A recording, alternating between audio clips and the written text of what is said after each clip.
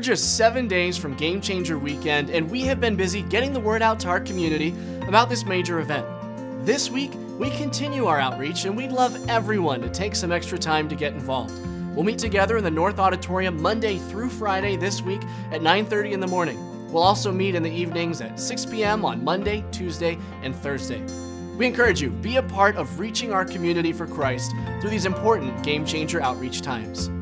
Also, if you visit gamechangers.la and click share, you can help spread the word online through your own social media channels. There are graphics and videos that you can use to post to your own Twitter, Facebook, Instagram, or Snapchat to invite your friends to be part of Game Changer Weekend. We are so excited about the launch of the Game Changer message series next weekend. Now, we've already heard a lot about that today, and I want to encourage you on the way out, stop by the Game Changer stations in the lobby. Be sure to get your cookies to invite a coworker or a neighbor or a friend this week. Be sure to write their name down on the board in the lobby so we can be praying with you that they will come as your guest next Sunday. Then, when you come next weekend, whether that's going to be Saturday night at 5 or Sunday morning at 8:30 or 11, you want to be sure to bring your guest through the West Wing entrance. We'll have a special hospitality team there with some refreshments for them to enjoy on their way in. We're asking all of our members to park as far away from the worship center as you're physically able to do, back behind the modulars or over by the Student Life Center. We want to leave all the parking on 40th Street East for our guests and the folks from the community that are coming for the launch of this teaching series.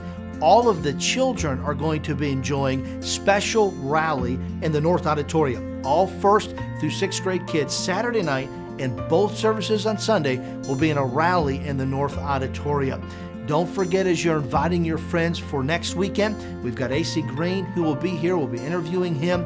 We have a meal following every service with bounce houses and, and face painting and animal balloons for the kids. It's going to be a great time for every person who's coming from our community. And let's pray and ask God to use every effort on our behalf this week that we might bring a guest with us next weekend. The Bible teaches that giving is a part of growing in our faith. It is a response to God's good gifts to us, and it is an act of worship toward Him.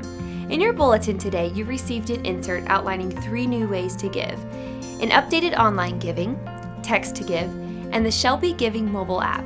We hope these new convenient options will be a help to you. If you have questions, contact the church finance office. If you don't already have plans for lunch today, join us at our campus restaurant, The Point. The Point is located in the Walther Center on the south side of campus. If you enjoyed today's message, you can watch, listen, or share it with others by going to preaching.lancasterbaptist.org. You can also stop by the Media Center in the main lobby to purchase an audio CD to listen to later or to give to a friend as a gift. Thanks for joining us today. If you need to sign up or would like more information about anything you've seen, stop by guest services, connect with us online at lancasterbaptist.org, or find us on Twitter, Facebook, and Instagram. If you're one of our first time guests, please stop by the welcome tables in the lobby where you can drop off your connection card and receive your gift. Have a great afternoon, and we'll see you tonight at 5.